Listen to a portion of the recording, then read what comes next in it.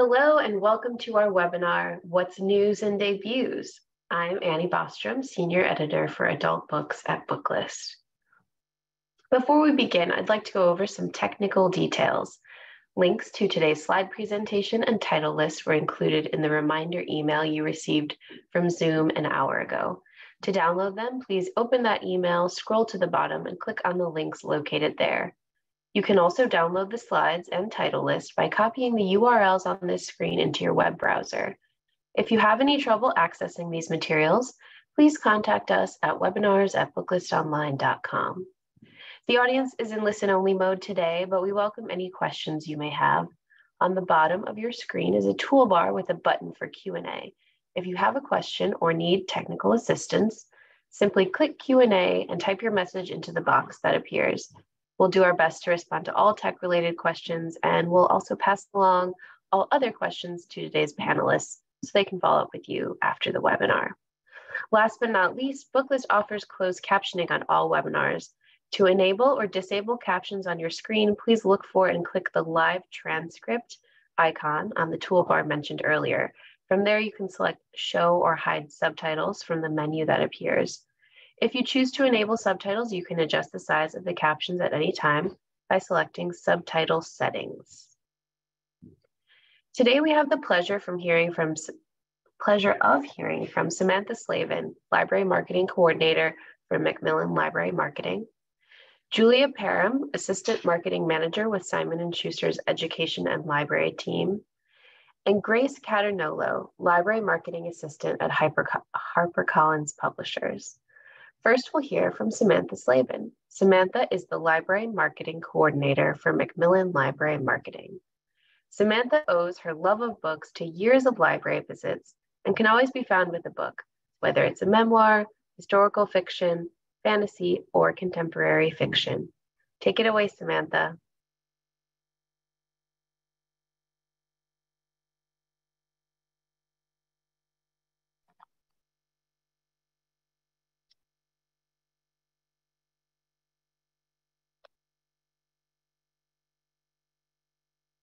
Hi, everyone. Am I good to go? Should I give it a second? Perfect. Thank you so much. I am Samantha Slavin, Macmillan's Library Marketing Coordinator. I am so excited to be telling you about some of our upcoming debuts today. Before I get started, though, here is all of our contact information. So please reach out if you have any questions or comments. And also, make sure to check out our debut review column on our website for some other special debut content, including author Q&As, author letters, staff reviews, and more. Next slide, please. And here are all the ways you can get Macmillan e-galleys. Please reach out if you have any questions on how to do this. And all of these instructions can also be found on our website. And next slide. And don't miss Happy Half Hour. This is a weekly book talking series where the MacLib team talks about four upcoming YA and adult books every Monday, happening at 4 p.m. Eastern on Crowdcast. And once in a while, we have special guest authors join us. We had the pleasure of talking to three authors yesterday about their vampire theme books. All of this info and registration links can be found on the website as well. And now onto the books. Next slide. First up is please report your bug here. This is an inside look at startup culture inspired by the author's experience as the first ever employee at Instagram and then later an employee at Facebook.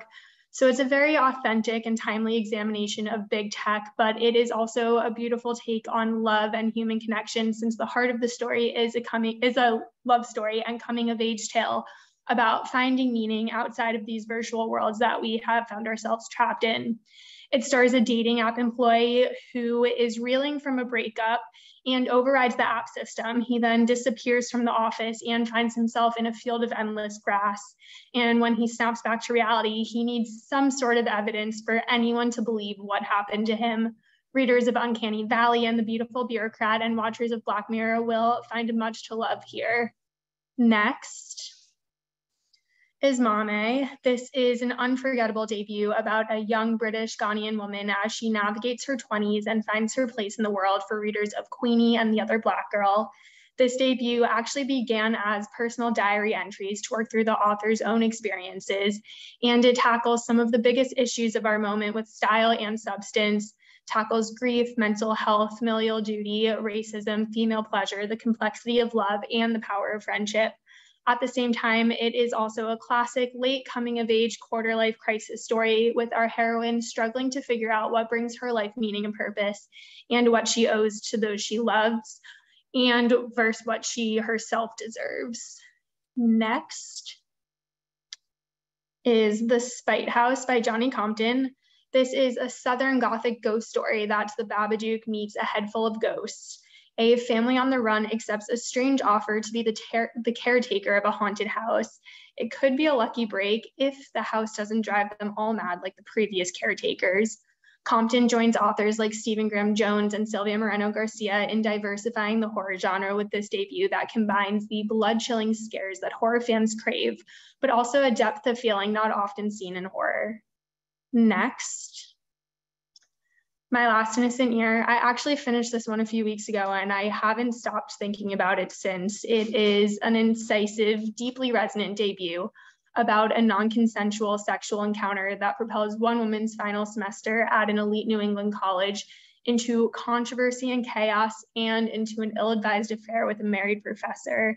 It stars Isabel, a college senior from the Lower East Side of Manhattan, she grew up in a home with not a lot of money. Her mother died when she was a teen, and her father was an overworked business owner with no real dream or ambition. All he wanted was for Isabel to go to college and have more opportunity than he did.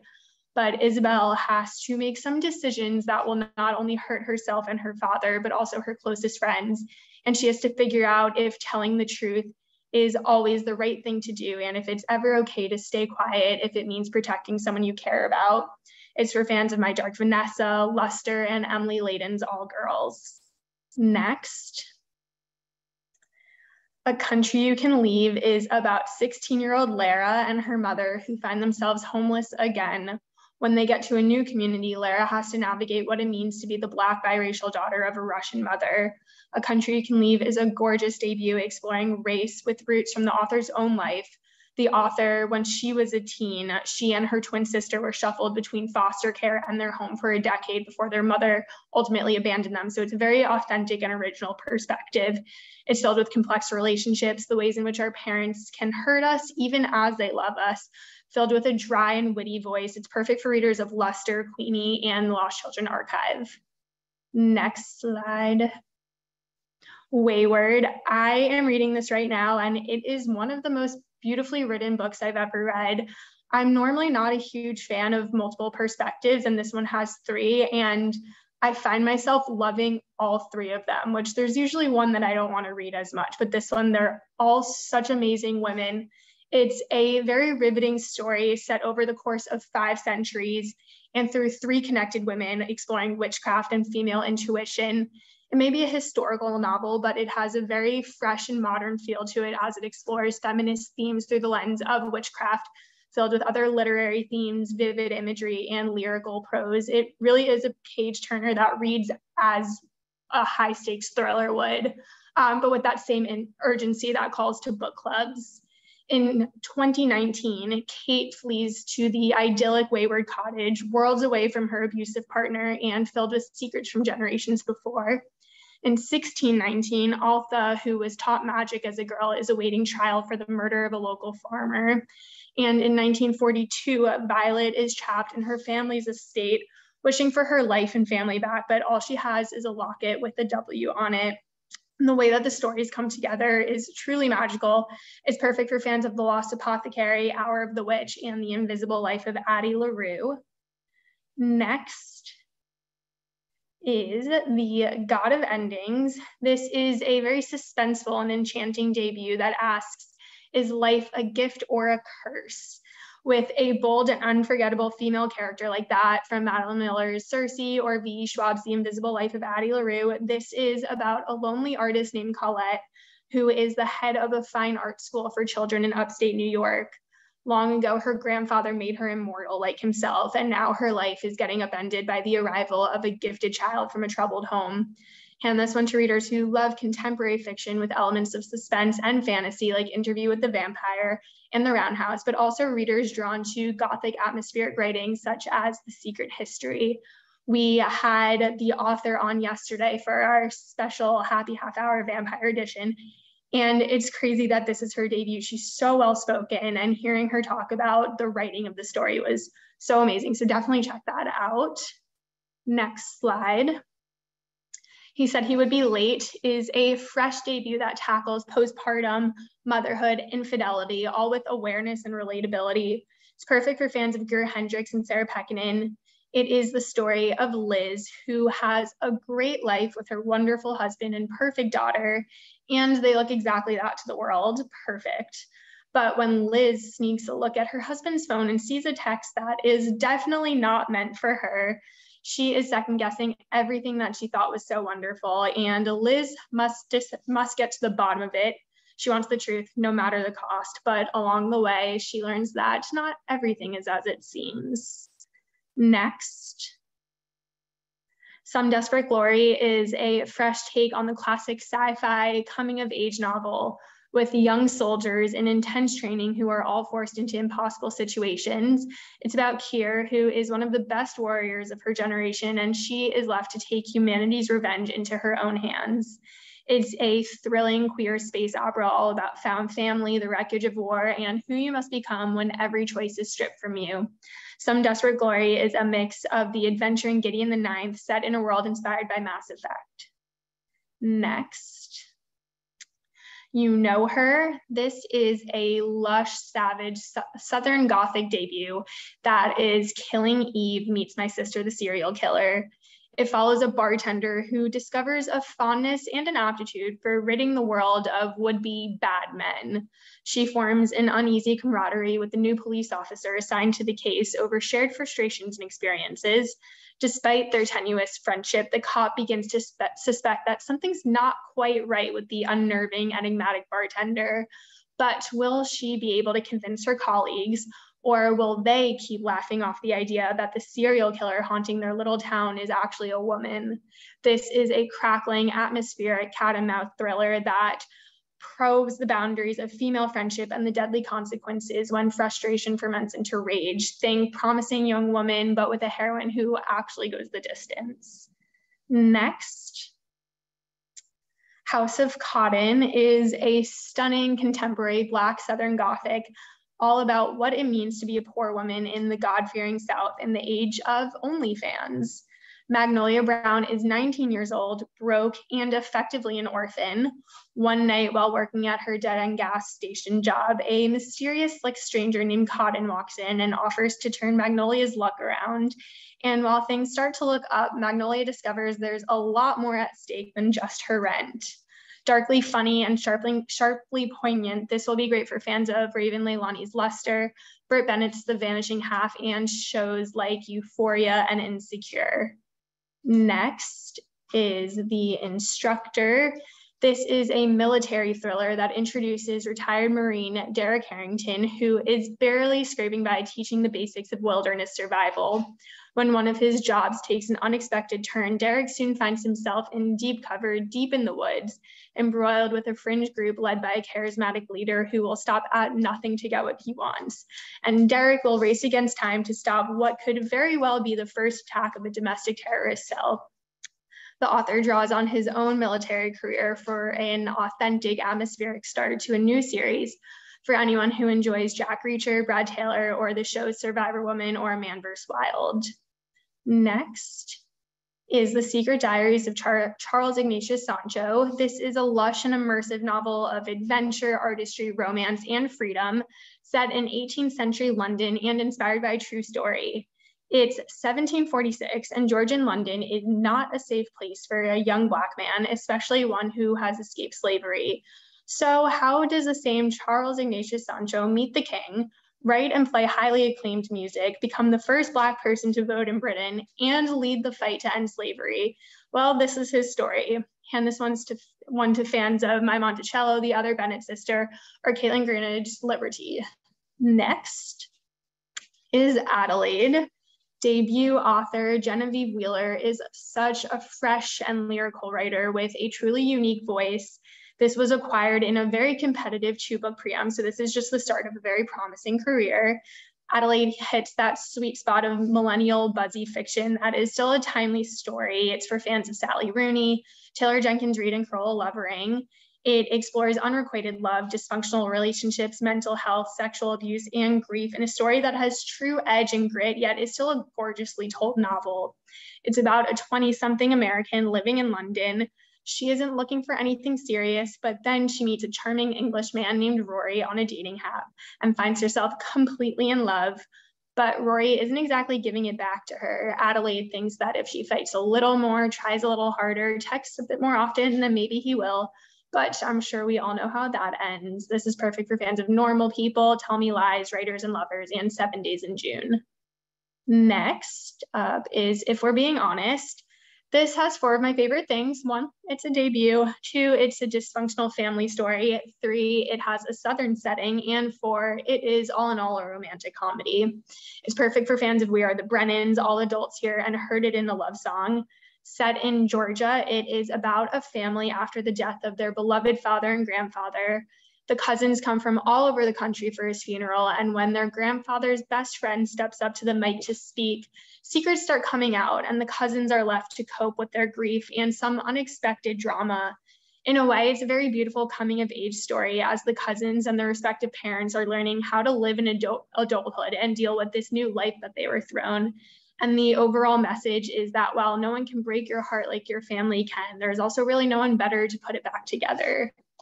Next up, Amazing Grace Adams is Where'd You Go Bernadette meets Eleanor Oliphant is Completely Fine meets A Man Called Ove filled with humor. This is the touching and unforgettable story of an invisible woman pushed to the brink.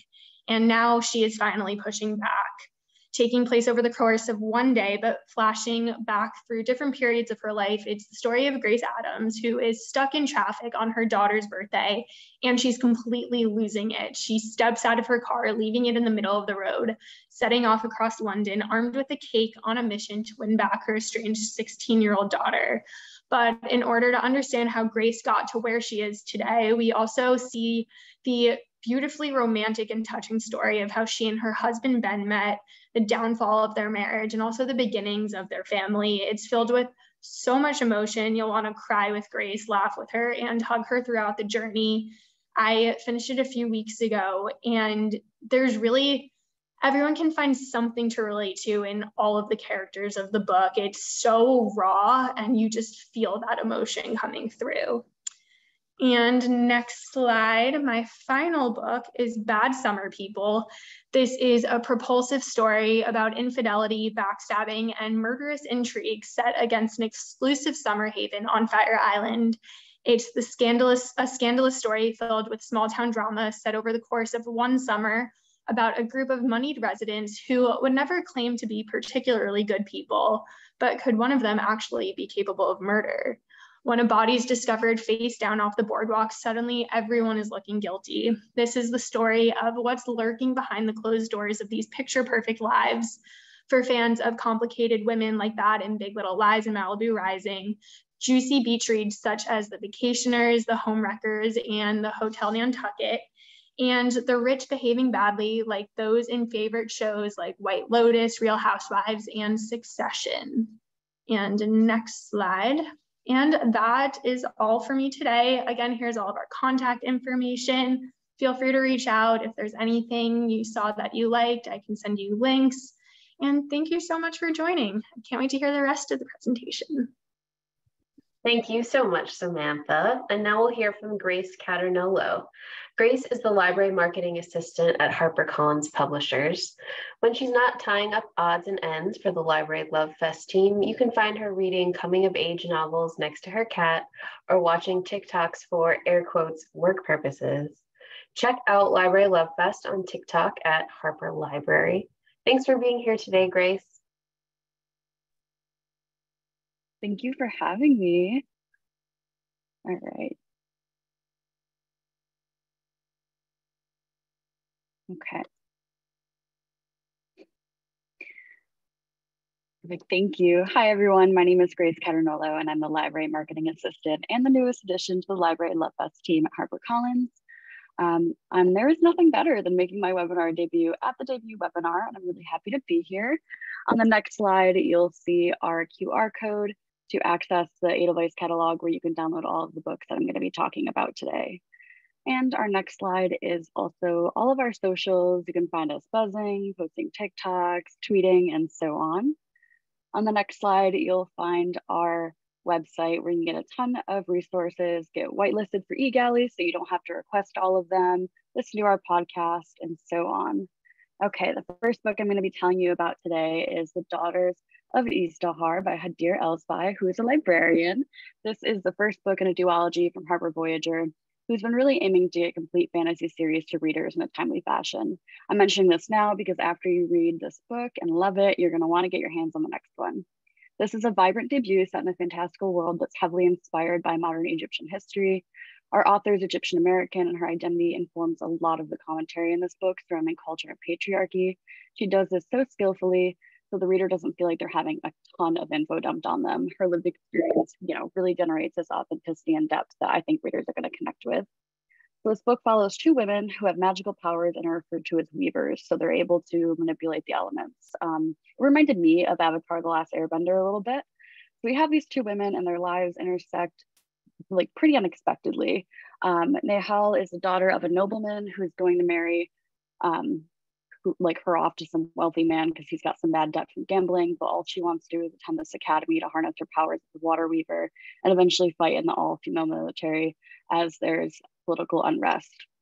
On the other hand, Georgina is an earth weaver from an entirely different social class with virtually no money. She's got out of control powers and potentially she's dangerous, but she's finding a lot of solace in the Daughters of Izdihar, a women's rights group who want to give women autonomy. And this is where they meet. Um, the chapters alternate point of view, so you get a feel for both of the characters. And let me tell you, these characters are so beautifully developed. I loved both of them despite all of their flaws, and they juxtapose each other perfectly. The story is incredibly timely as women in the book fight for their rights and push back against the patriarchal society. And it's going to be great for fans of non Western fantasies like uh, Babel by R.F. Kuang and fans of Shannon Chakraborty. Um, I think there's also a lot of potential for YA crossover here. Okay, next slide.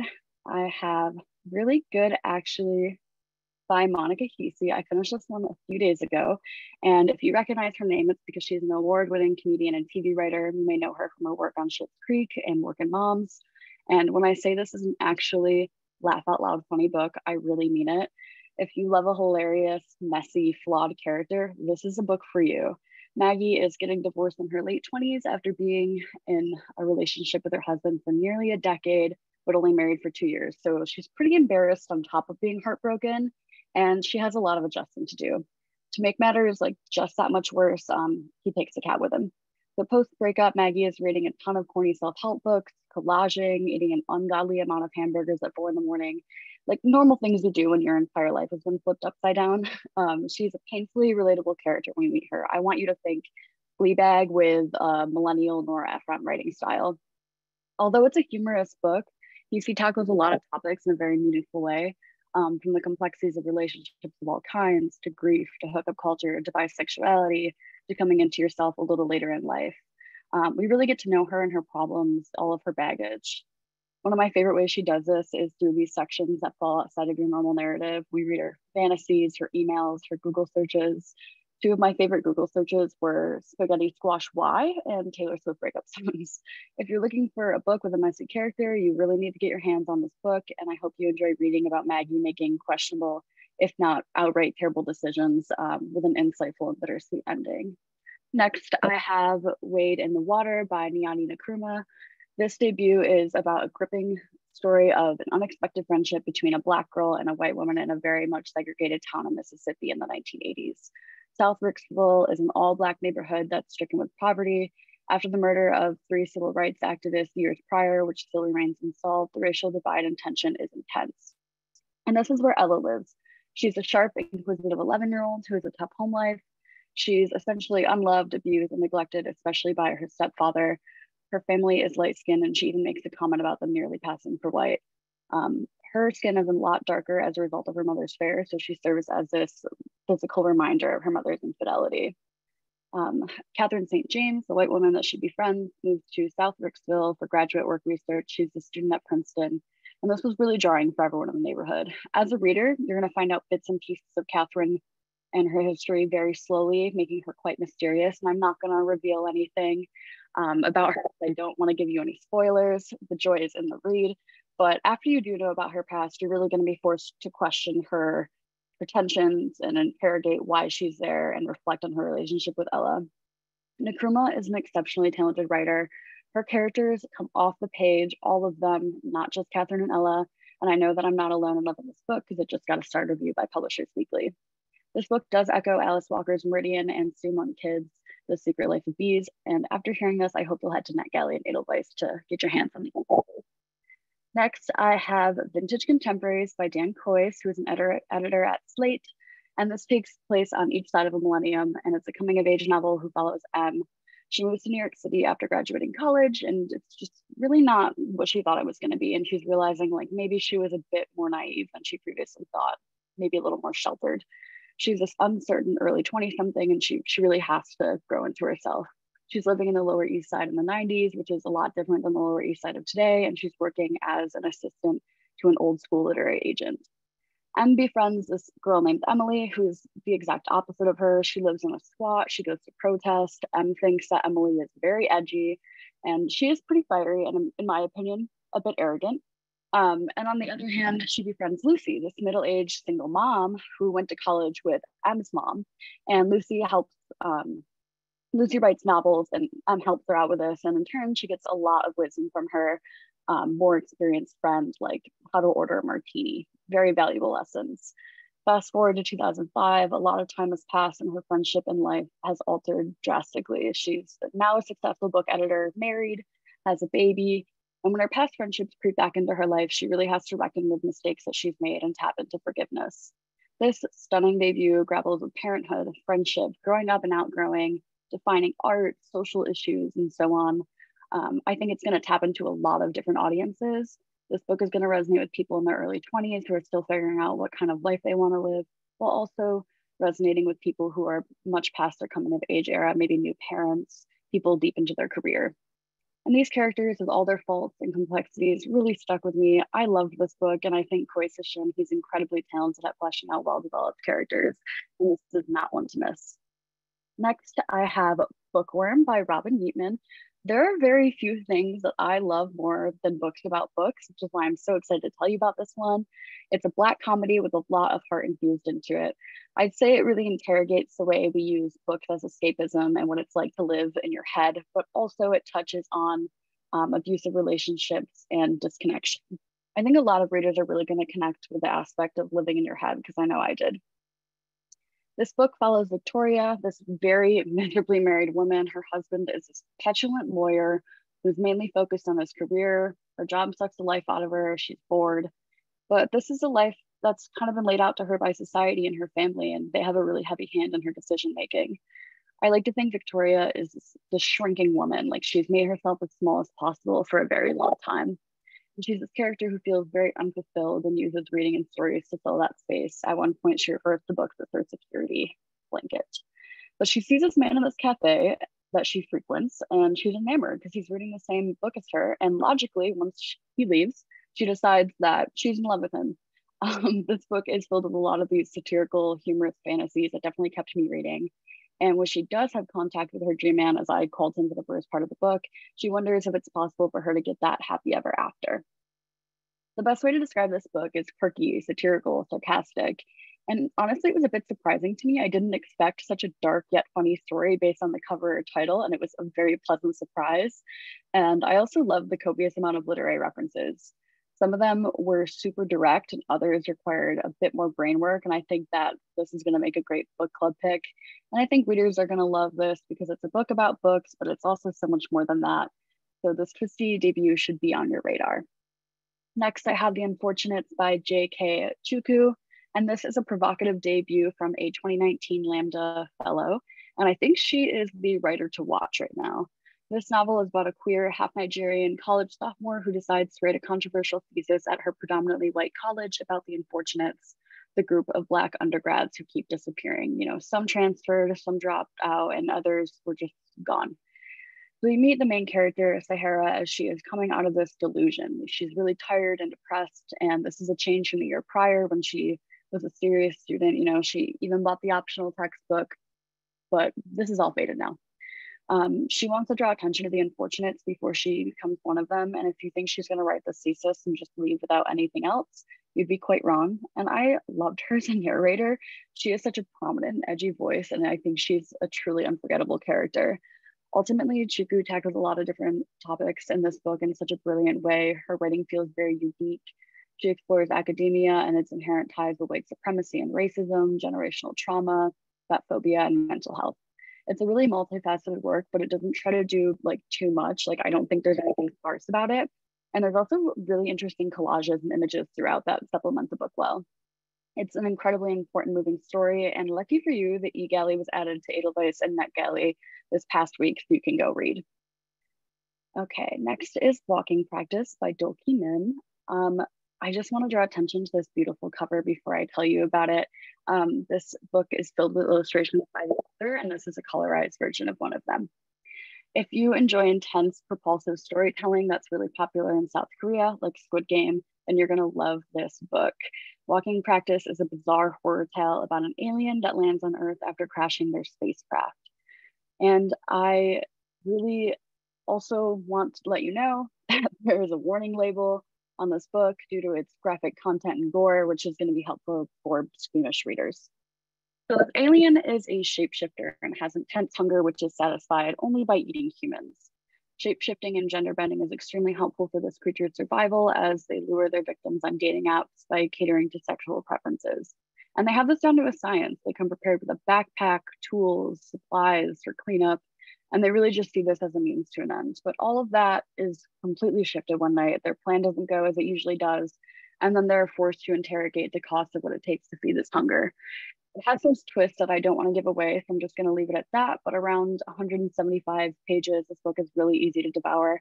I read it last week in an afternoon, and it was so hard to put down and like the perfect pre-Halloween read. What Dolki Min does so well is present a like horror story with gore and disturbing imagery, but really pushes beyond shock value. I think like all good horror, it serves as a critique of our society, um, this alien is in this really unique position to look at the human race from an entirely outside perspective. They critique our gender norms, how we treat bodies that are considered acceptable versus unacceptable, and what it means to be alienated. Um, some read alikes for this title are Gretchen Felker's Mar- Martin's Manhunt, Eric LaRocca's Things Have Gotten Worse Since We Last Spoke, and Michael Faber's Under the Skin. And next is Chlorine by Jade Song. I am thrilled to tell you about this book. I think it might be my favorite read of 2022. Just look at that beautiful cover. It's so vibrant and I love it. Um, when I heard about this book, I was hooked at the tagline of coming of age story with sapphic yearning. Chlorine is this electrifying debut that follows Ren Yu, a teenage swimmer whose entire life revolves around her sport and her love for water. So it starts in her childhood as a fascination surrounding mermaids. She's reading books upon books about these mythical creatures and sirens, and naturally felt herself drawn to water. You even find out at some point she has um, a shrine pretty much dedicated to them in her bedroom.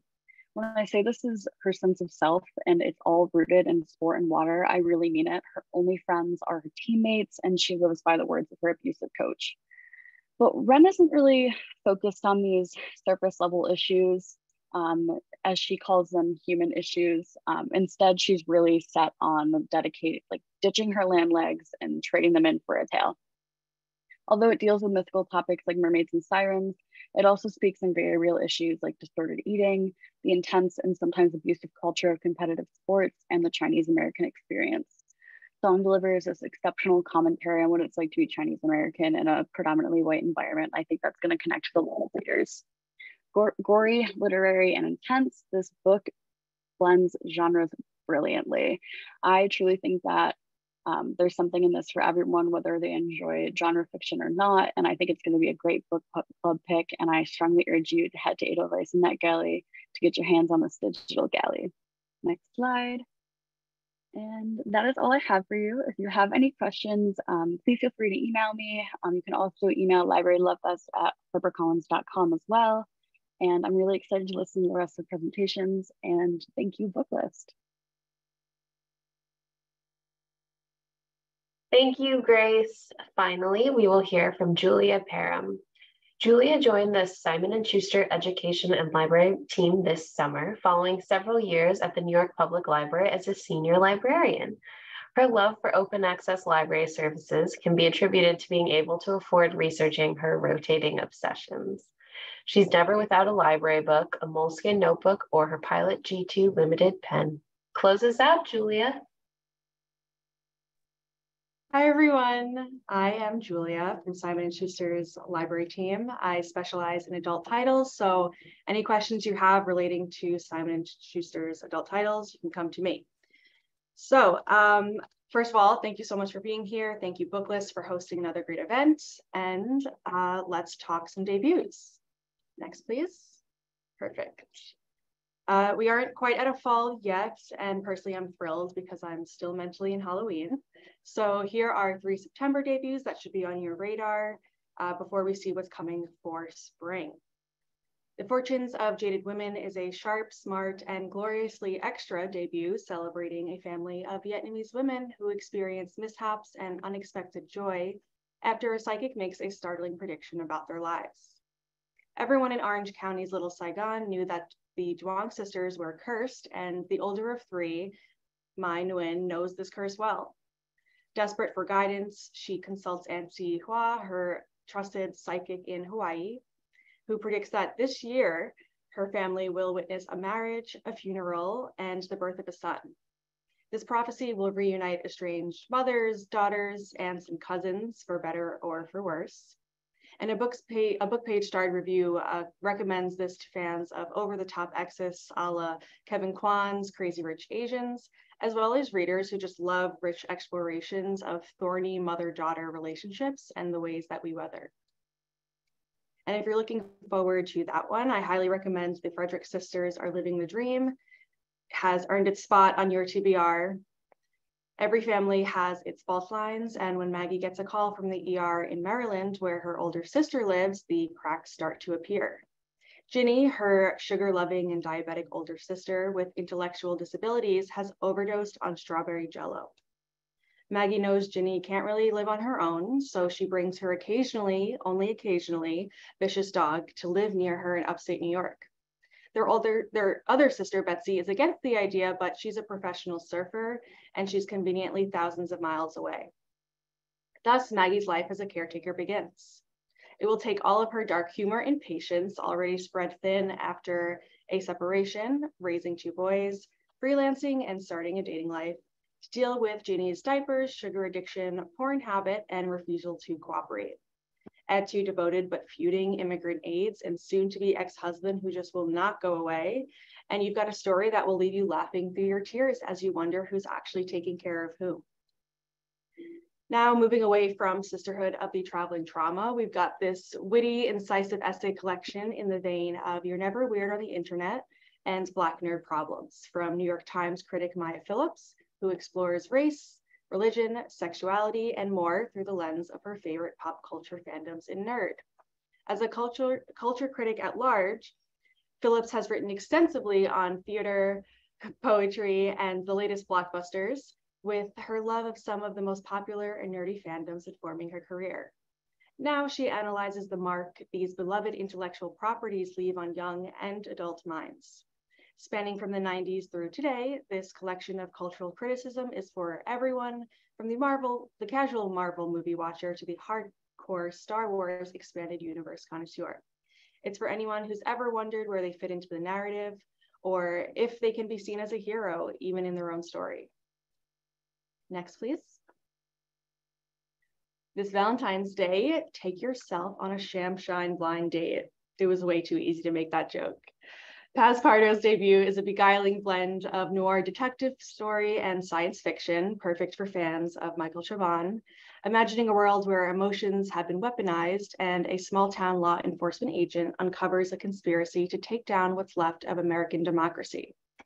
Told in the voice of a funny, brooding Latinx Sam Spade, the Shamshine Blind sinuously melds alternative history with science fiction and a noir-tinged police procedural. It imagines the world if Argentina had won the Falklands War and become the world's sole superpower, reducing the US to a needy client state in thrall to black market drugs that replicate the full gamut of human emotions. This is one of my most highly anticipated reads of the season, and it's definitely one to keep in mind for the readers who you think would enjoy uh, satirical speculative fiction. And also, most if not all of these titles are available now on and Edelweiss. So definitely submit those requests and I will personally approve them with love. Next, please. Okay, for anyone participating in NaNoWriMo, first of all, I commend you. Second, if you find out you're selected as one of the five attendees for an exclusive month-long writing retreat at Roza Vallo, the controversial high priestess of feminist horror's remote Gothic estate, it might just be too good to be true. Julia Bartz' writing retreat is a claustrophobic and propulsive thriller exploring the dark side of female friendships and fame as the exclusive retreat descends into a nightmare. Layne Fargo calls this shrewd, suspenseful debut bonkers in the best way, taking the typical writer's anxieties and obsessions and transforming them into a pulse pounding, impossible to put down thriller. This was also selected as the company wide SNS Reads Together book club pick and Julia Bartz is a practicing psychotherapist, making her an expert in fascinating characters, who I cannot wait to discuss at the next club meeting. Next, please. Here's a question. What happens when your first love, who is either harboring an unbelievable secret or lying about their past, disappears into thin air or deep water with your only child? At Sea is a heart-stopping coming-of-age debut about the painful fallout from love and loss, our perception of the real and unreal, and how far one woman will go to learn the truth about her family. With a unique twist, At Sea explores the willing suspension of disbelief and how far some of us will go to embrace it for those we care about the most. Every early fan at the office has been moved to tears by its affecting portrait of grief, loss, mental illness, and first love. The power of this spellbinding novel lies in its brilliantly evoked characters, and readers seeking emotionally meaningful stories of moving forward from painful, painful pasts will find it richly satisfying. Emma Fedor joined us on the fiction Complications of Love panel at um, this past day of dialogue, and the recording is still available. So if you'd like, you can head over to our website, simonandschuster.net slash library. We have a new events page and you can access the recording there. Next, please. Only Murders in the Building meets the maid in this cozy yet dark locked room mystery taking place on the set of TV's hottest baking competition. When production for the 10th season of Bake Week begins at the Gothic estate of the show's host and founder, celebrity chef Betsy Martin, everything seems normal. The six contestants are eager to prove their culinary talents over the course of five days, while Betsy struggles for control of the show with her new co-host, the brash and unpredictable Archie Morris. But as the baking competition gets underway, things begin to go awry. At first, it's merely sabotage. Sugar replaced with salt, a burner turned too high. But then someone shows up dead and suddenly everyone is a suspect. Readers and reviewers are eating this one up, and Hulu is currently cooking up the Golden Spoons scripted television adaptation. This thriller is full of twists, surprises, and characters who would just as soon stab you in the back as they would whip up a chocolate souffle. Next, please. For Isabel Manning, growing up in a famous literary family was both a blessing and a curse. The world first got to know Isabel's parents in the 90s as one of New York's intellectual it couples. Her classically beautiful mother, Claire, had a reputation as a whip-smart society hostess, while Isabel's father, the incomparable Ward Manning, was the king of the Times bestseller list. Having to share Ward with his adoring public wasn't always easy, but at home, Claire made certain that Isabel's childhood was filled with magic and love. Now, as an adult, all Isabel had ever wanted is a career like her father's, but wrecked by grief after Claire's unexpected death, Isabel faces down her 35th birthday alone, without a book deal, and without her mom, and on the brink of a messy breakdown. This anxiety skyrockets to new levels when Isabel discovers some shocking truths about her parents, which leave her wondering if the world's rosy version of the Manning family is based on an elaborate and demoralizing lie. Isabel's own unfolding drama is punctuated with fragments of a clever book within a book, where a righteous female narrator steals back the spotlight from a man who has cheated his way to the top. The characters seem eerily familiar, but how many of the plot points from this other story are rooted in fact? And more importantly, who is the author? Next, please. 1931, New Galveston, Mars. 14-year-old Annabelle and her robot Watson and her father live in relative peace in the Martian frontier known as the Strange. When a violent robbery has devastating consequences, leaving her father injured and imprisoned, Annabelle and Watson set out on a quest for revenge. As she hunts for those responsible, Annabelle is confronted by the unforgiving conditions of the strange, other humans radicalized by desperation and the physical and mental repercussions of her own actions. This author is already a master of literary horror with consistently brilliant stories having been adapted by Hulu with another in the works. The Strange is a definite page turner, elegant and troublingly, wonderfully disturbing. Next, please. Set in a near future Arctic settlement in the far north of Canada sits Camp Zero, an American building project hiding many secrets. This wildly imaginative debut novel follows the intertwined fates of a Korean American sex worker, a privileged white professor, and a mysterious collective of women soldiers called White Alice. Desperate to help her climate displaced Korean immigrant mother, Rose agrees to travel to Camp Zero and spy on its architect in exchange for housing.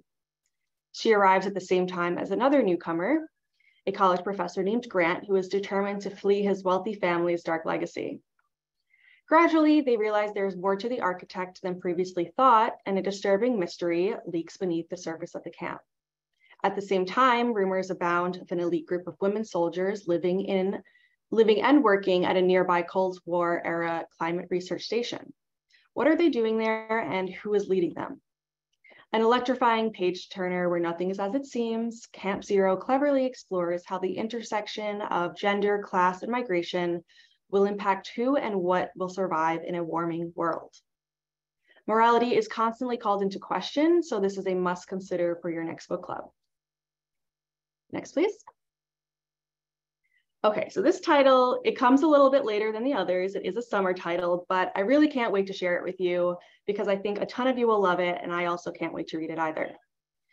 Vietnamese refugees Debbie and Phil Tran have built a comfortable life for themselves in Toronto with their family nail salon. But when an ultra glam chain salon opens up across the street, their, their world is rocked.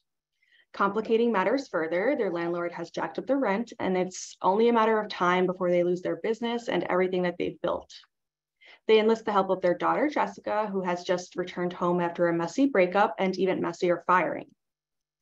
Together with their son, Dustin, Dustin and niece Ty, they devise some good old fashioned sabotage. Relationships are put to the test as the line between right and wrong gets blurred. Debbie and Phil must choose do they keep their family intact or fight for their salon? Sunshine Nails is a light-hearted, urgent fable of gentrification with a cast of memorable and complex characters who showcase the diversity of immigrant experiences and community resilience. This is tender and humorous, and I think you will just love the trans who will do anything to defend their salon, even if it requires some gambling and blackmailing. Next, please. And this year I've made my own debut in organizing our next adult librarian preview, and I would really love to see you there. Um, it's November 9th from 4 to 5 p.m. And you can visit our website to RSVP, simonandschuster.net slash library. I hope that QR code works. And next slide. While you're there, you can see what else we have for you, including staff picks, our spring brochure, brochure will be coming soon from the book drop, so you can see what we had to say about our selections for the season. Uh, we also have reading group guides and powerful recommendations by Simon & Schuster authors and employees that reflect their own personal narrative. Next, please. And that's all I have for you today. So thank you so much. Uh, here's my email, julia.perham at simonandschuster.com. Feel free to stop by my inbox. I always appreciate when people come by and say hello, tell me what they're reading and I would just really love to hear from you. Great, thanks so much. Bye all. Thank you so much, Julia. Um, and thank you to Samantha and Grace. You've all been wonderful presenters today. Tomorrow, all attendees will receive an email containing links to today's slide presentation, title list, certificate of completion, and video recording. For more about Booklist webinars, be sure to visit booklistonline.com slash webinars, where you can view archives of past webinars and register for upcoming ones like those you see here. Now you can share Booklist love with everyone connected to your school district, library system, or higher learning institution. Booklist Online Unlimited offers just that, unlimited simultaneous access to 30 years worth of review and article archives, plus digital editions of Booklist, Book Links, Booklist's Guide to Graphic Novels and Libraries, and Booklist Reader. For pricing and other questions, visit booklistonline.com slash subscribe. Good news, you can now deliver Booklist unparalleled recommendations directly to patrons. Share Booklist Reader digitally and now in print. So we're taking print subscriptions now. Learn more at bit.ly slash Booklist Reader print or check out our website for more information about ordering your copies soon sorry, now. thank you for joining us for today's webinar. One more huge thank you to our panelists and to our sponsors, Macmillan, HarperCollins Publishers, and Simon & Schuster. This concludes today's webinar. See you next time.